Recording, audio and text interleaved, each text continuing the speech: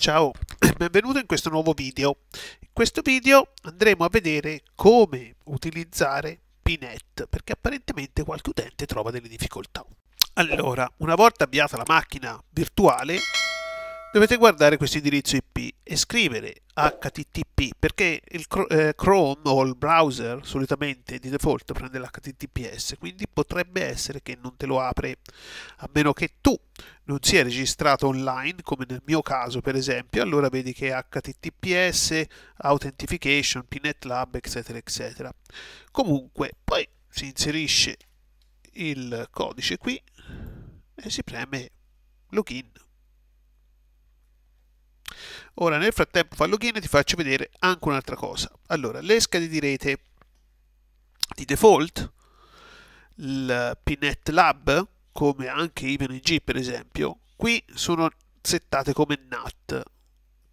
Vuol dire che questo indirizzo IP qui che vedi tipo il mio 192.168.0.218 per te potrebbe essere 192.168.122. qualche cosa allora, io ho 0.18 perché quando collego Pinet a internet e voglio fare per esempio VPN come abbiamo già fatto con Fabio eccetera eccetera, ci serve l'indirizzo reale della macchina che è 0 appunto 192.168.0 quindi non posso averlo nattato. Se anche tu non lo vuoi avere nattato, basta che clicchi qui su, col tasto destro, vai su Setting aspetti un attimino e qui metti bridge. Al posto di nat muovi su bridge su entrambe le schede.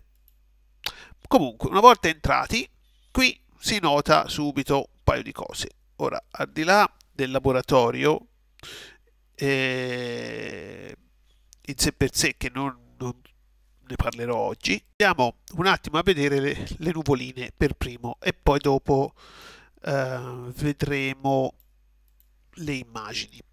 Allora, le nuvoline. Le nuvoline si trovano sotto network e ne abbiamo di diversi tipi. Abbiamo bridge, abbiamo management, abbiamo cloudnet. Allora prendiamo management, che è questa, e colleghiamoci un computer, che è quello qui.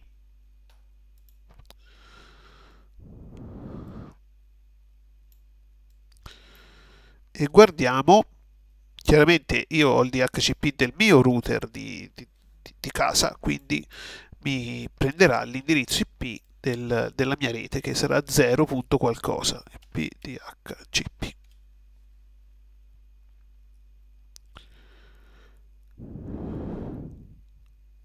Spero che me lo dia.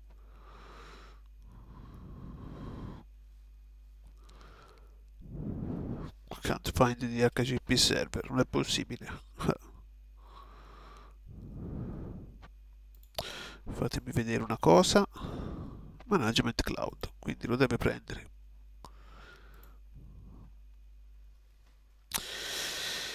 Va bene, allora glielo diamo noi. Uh, 101 slash 24 255 uh, scusatemi 192 168 01 vediamo un attimo chissà perché il mio DHCP non mi dà l'IP comunque uh, comunque il l'indirizzo IP è impazzito. Aspettate un attimo solo. Sì aspetta via devo spegnere e riaccendere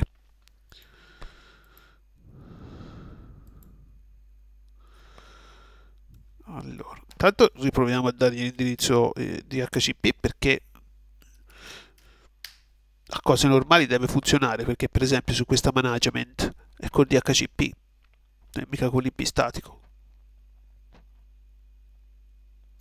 Però ogni tanto il DHCP del mio router va in tilt e quindi non, non so perché 24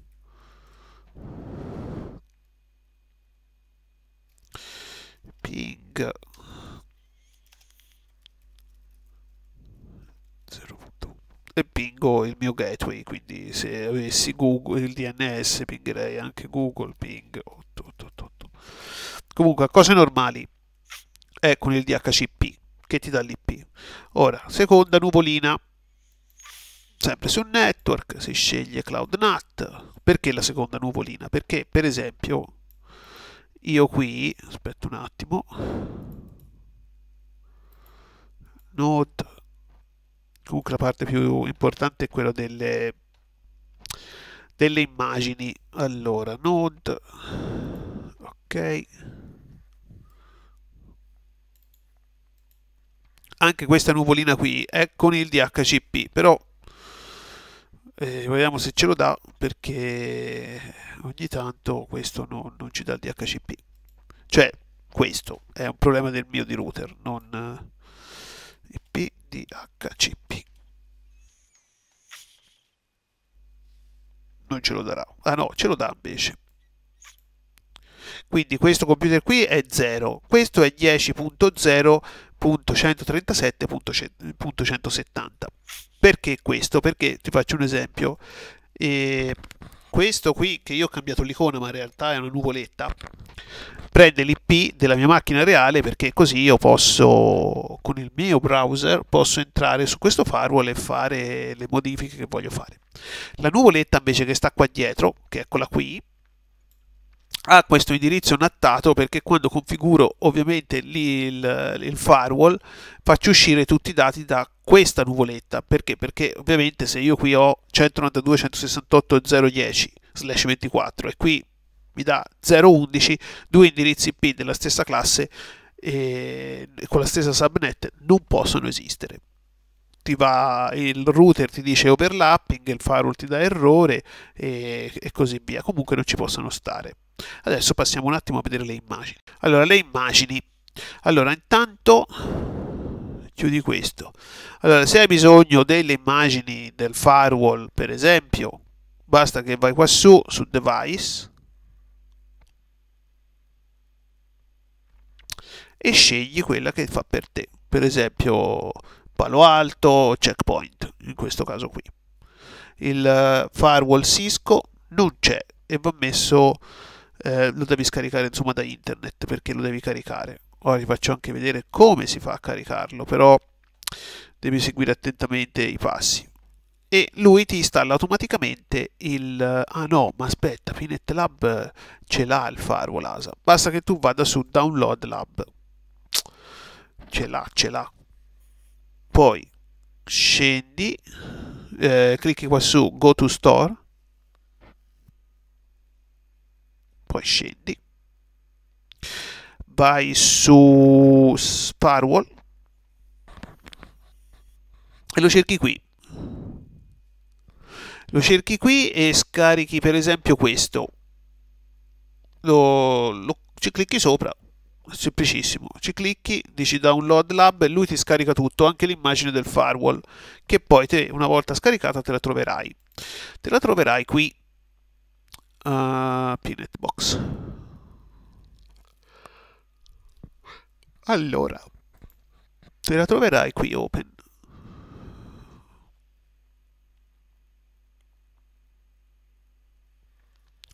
Cliccando con il tasto destro, Node, e qui ti troverai ASA V. Io le ho tutte e due, ma comunque dovresti trovare soltanto uno, ASA V le immagini. Ora io qui ce ne ho alcune, ho Arista, Checkpoint, Firewall, Palo Alto, Riverbed, e un altro Firewall, Fortinet. Comunque, le immagini. Allora, prendiamo Cisco IOL.